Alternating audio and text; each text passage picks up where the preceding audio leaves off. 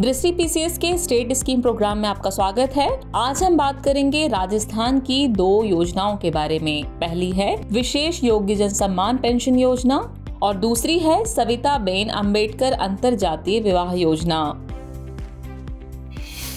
चलिए पहले बात करते हैं विशेष योग्य जन सम्मान पेंशन योजना की। इसके परिचय की बात करें तो योजना के तहत विकलांगता से ग्रस्त व्यक्तियों को पेंशन दी जाती है।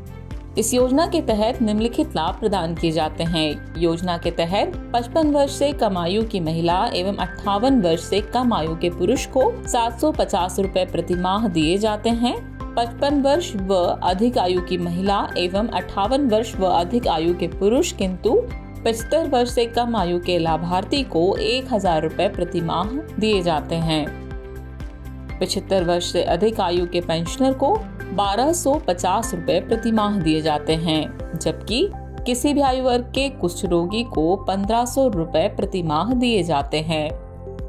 इस स्कीम के लिए पात्रता की बात करें तो लाभार्थी की समस्त स्रोतों से वार्षिक आय साठ हज़ार रूपए से अधिक न हो।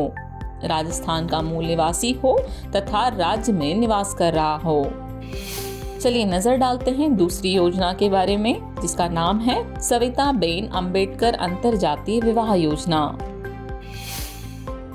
योजना के परिचय की बात करें तो इस योजना का मकसद सवर्ण हिंदू तथा अनुसूचित जाति के बीच अंतर जातीय विवाह को प्रोत्साहन देना है। योजना हेतु सामाजिक न्याय एवं अधिकारिता विभाग, नोडल विभाग है। इसके लाभ की बात करें तो इस योजना के तहत अनुसूचित जाति के युवक या युवतियों द्वारा सवर्ण हिंदू जाति के युवती या युवक से विवाह करने पर युगल को प्रति विवाहित युगल पाँच लाख रुपए प्रोत्साहन राशि दी जाती है।